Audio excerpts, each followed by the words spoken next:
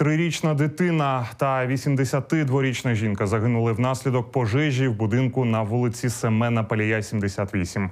Трапилось це сьогодні зранку. Про задимлення на п'ятому поверсі повідомили сусіди. За 40 хвилин вогонь вдалося загасити. На жаль, дівчинку та жінку знайшли вже мертвими. Причину пожежі встановлюють експерти.